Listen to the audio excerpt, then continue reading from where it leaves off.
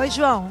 Mais uma vez, estamos aqui no meu novo espaço, que é bem novinho, tem dois meses exatamente.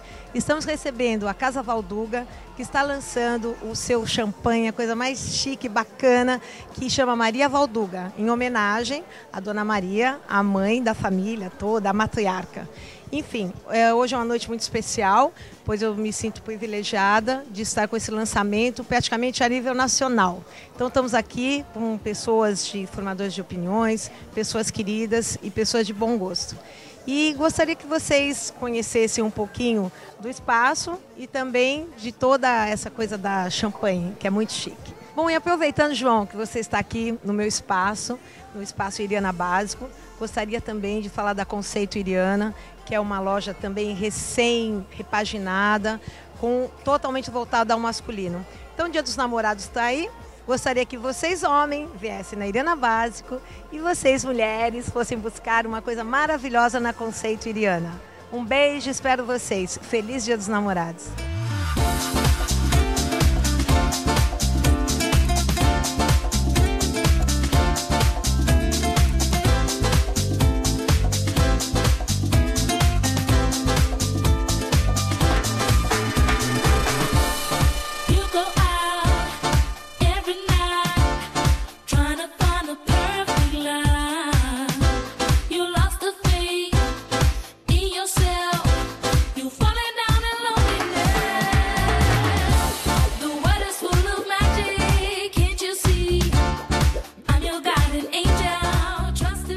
JB, boa noite. Aqui é o Álvaro Dias da Casa Valdoga, sou gerente comercial.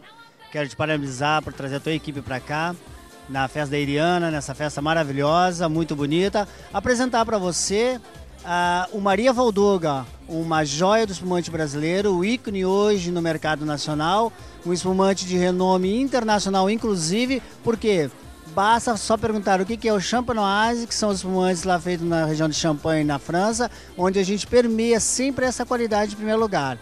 Realmente é um prazer muito grande estar em Santos, nessa sua cidade, na tua região, é, fazendo a maior a possibilidade de estar o mais próximo presente de vocês, consumidores e amigos aqui da Casa Valdoga.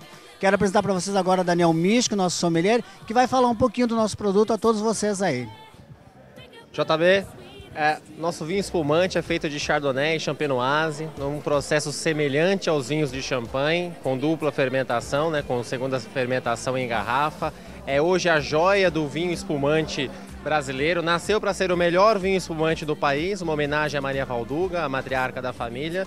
E já é aí, sem dúvida nenhuma, um dos grandes ícones do país. Nós estamos fazendo o lançamento aqui na Iriana para a Baixada Santista e região de um produto belíssimo e fantástico que vai bem de encontro aos clientes que aqui estão, aos clientes que estão assistindo o programa, que são a Coqueluche.